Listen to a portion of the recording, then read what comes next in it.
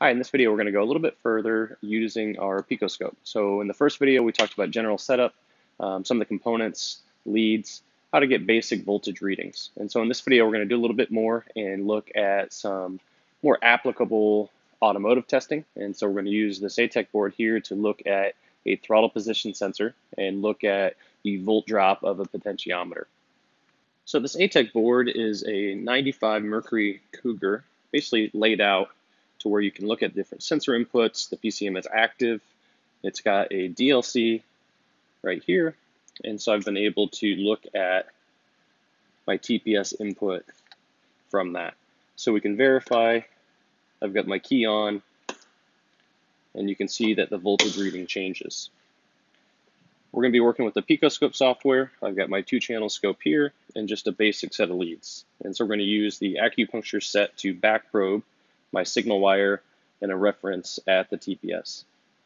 To get set up with this test, I'm going to go to my TPS sensor right here.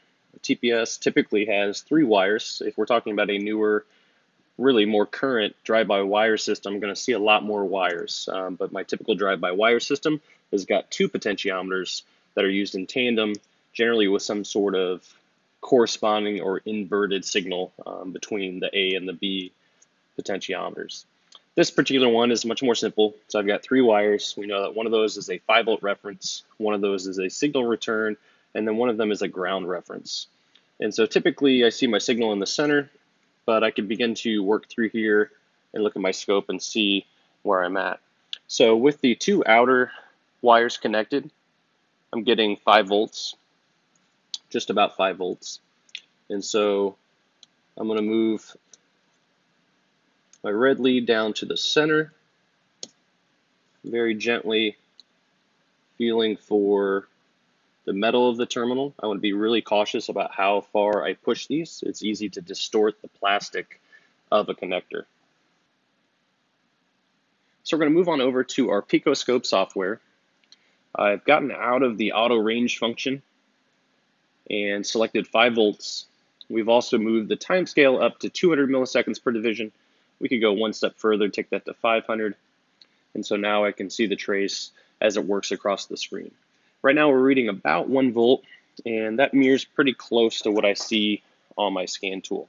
So I see about 0.98 volts. And if I hold that there and we go ahead and give a throttle input, see 0.45 or 4.75 and a return to 0.98. So I've come back to the Picoscope software I've stopped my screen on one sweep. And so then we can do a little bit of work here to better look at just the segment of the sweep. So this is going from 0% or idle up to wide open throttle and then going back down. And so I zoom in, I get a little bit better picture. Um, if you look really close, there's quite a bit of noise there. And so one of the things that I can do to try and rectify that.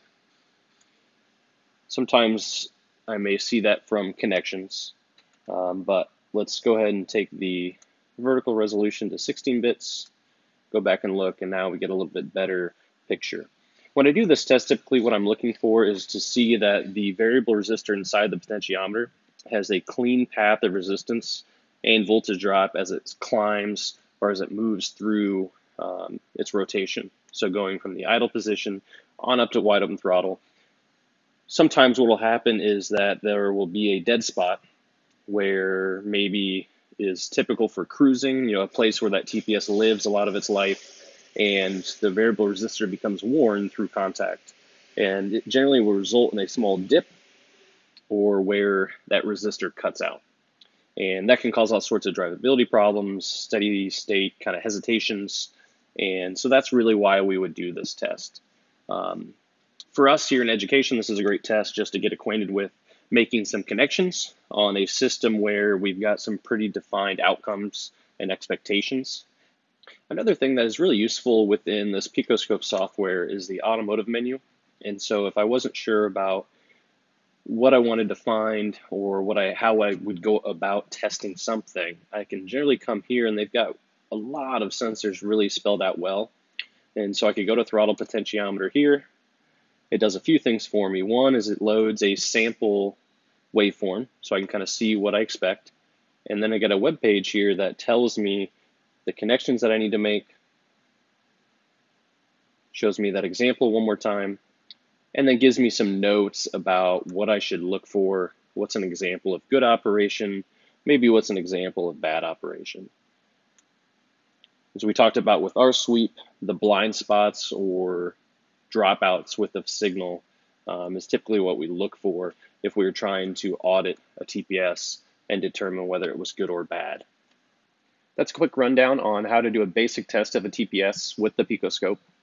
Again, really we're just focusing on getting a good connection, utilizing the equipment, and being able to scale the software and see a waveform, you know, a result that matches our expectations. The more that we get acquainted with scopes and we're able to verify things that we already know, as long as we know what good is, that's going to help us understand what bad looks like in the future.